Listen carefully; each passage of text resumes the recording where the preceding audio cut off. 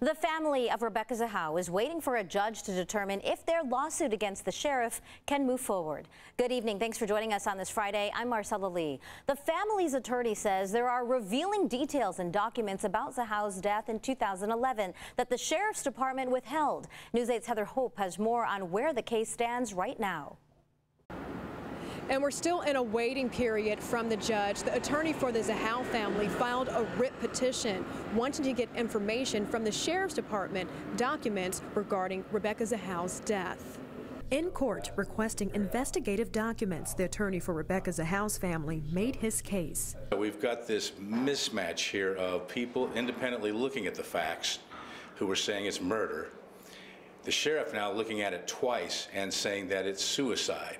Something's not right. The only way we find out what's going on here is by getting the documents the sheriff has. Attorney Keith Greer says San Diego Sheriff Bill Gore withheld crucial documents, which include the inter-office communications and the instructions given to deputies. 32-year-old Zahau was found dead at the Spreckels Mansion in Coronado in 2011.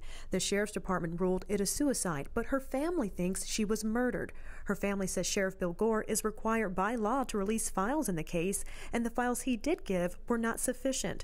Gore's attorney says the law allows him to withhold the information. There are no factual allegations in the petition that would ever lead to the conclusion that a sheriff's uh, instructions to his investigators concerning the conduct of an investigation with the sheriff's department, there are no circumstances uh, that where those would be discoverable if they exist. Greer says the sheriff's attorney argued hard trying to get the case dismissed, but he feels the judge will deny the motion to dismiss and they will move on to the hearing at the end of January. The sheriff's department, Sheriff Gore, for some reason does not want to let the public know what he told those officers, what their real instructions were. Greer says the family needs this missing piece to their puzzle.